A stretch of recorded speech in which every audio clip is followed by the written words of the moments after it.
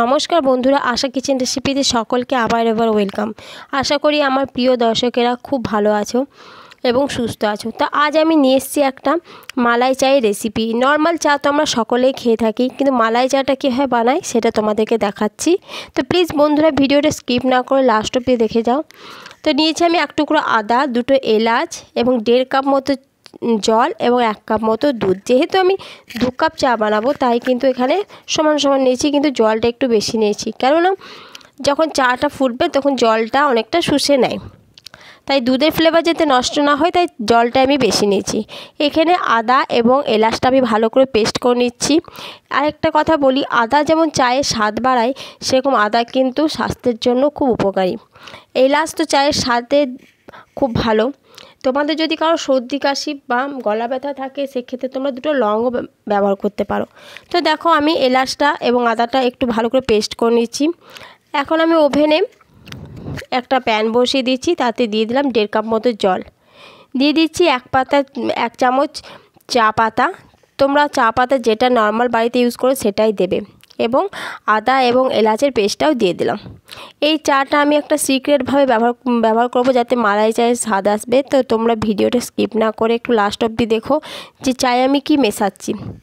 আমি যেহেতু একটু কম মিষ্টি খাই, তাই এক চামচ চিনি দিলাম। তোমরা চিনিটা স্বাদ অনুসারে দেবে। এখানে আমি সবগুলো একসাথে দিয়ে ভালো করে চাটা ফোটাচ্ছি। চিনিটা আমি প্রথমে দিয়ে দিচ্ছি। তার কারণ তাদের চিনির যে ক্ষতিকর দিকগুলো থাকে, চা অনেকক্ষণ ফুটলে কিন্তু সেটা নষ্ট হয়ে যায়। শরীরের পক্ষে কিন্তু সেটার ক্ষতিকর কিছু করতে পারে না। তাই চিনিটা আমি প্রথমেই দিয়ে দিই চায়ের মধ্যে। তো দেখো কালারটা বেশ সুন্দর এসছে। এখন আমি দিয়ে দিচ্ছি দুধটা। দুধটা দেওয়ার পর আমি এবার ভালো করে মিডিয়াম ফ্লেমে চাটা ভালো করে নাড়বো। তো দেখো আমি একটা চামচ নিয়ে নিয়েছি। দোকানে যেমন দেখেই থাকো যে এরকমভাবে নাড়াতে থাকে। এরকমভাবে নাড়লে চাটা চারিদিকটা সমানভাবে ফুটবে এবং চা পাতার রঙটাও চারিদিকে ছড়িয়ে যাবে। তো দেখো আমি মিডিয়াম ফ্লেমে এভাবে চাটা আমি তৈরি করছি। তো বন্ধুরা ভিডিওটা প্লিজ স্কিপ করো না। লাস্ট অবধি দেখার অনুরোধ রইল। অন্যদিকে চাটা যতক্ষণ ফুটছে ততক্ষণ আমি যে সিক্রেট কথা বলেছিলাম সেটা আমি তোমাদের সামনে নিয়ে এসেছি। তো দেখো আমি মালাই চায়ের জন্য এক চামচ মতো মালাই বা মাখন আমি রেডি করে রেখেছি। এই মাখনটা কিন্তু টাটকা আজকেরই মাখন।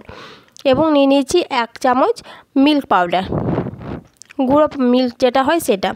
এবার এটা আমি ভালো করে একটু মিক্সড করে নেব চামচ দিয়ে।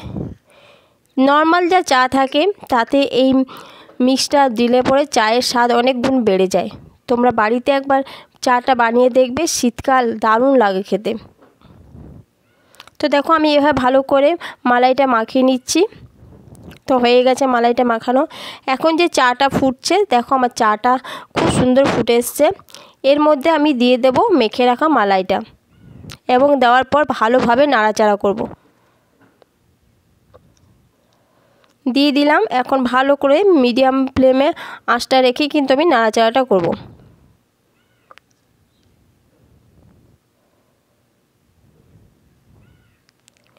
তো দেখো, আমার মালাই চা একদম রেডি তো বন্ধুরা, তোমাদের কাছে একটাই রিকোয়েস্ট তোমরা প্লিজ এরকমভাবে একবার বানিয়ে চাটা খেয়ে দেখবে।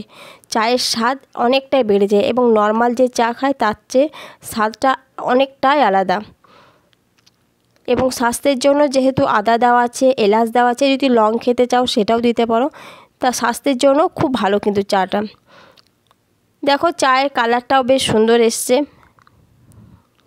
একদম পারফেক্ট কালার তো বন্ধুরা, আজ আমার ভিডিওটি যারা নতুন দেখছ প্লিজ চ্যানেলটি সাবস্ক্রাইব করে আমার পরিবারে চলে আসো এবং পুরোনো যারা বন্ধু আছো, তাদেরকে তো অনেক অনেক ধন্যবাদ। ভিডিওটি যদি ভালো লেগে থাকে, তো লাইক শেয়ার অবশ্যই করো। এইটুকু আশা তোমাদের একটা লাইক আমার কাজের উৎসাহ আরও বাড়িয়ে দেয়। তো প্লিজ বন্ধুরা লাইক শেয়ার করতে ভুলো না। আর রেসিপিটা কেমন লাগল, সেটা প্লিজ প্লিজ কমেন্ট করে জানিও। এতক্ষণ ধরে যে ভিডিওটি আমার দেখলে, তার জন্য অনেক অনেক ধন্যবাদ।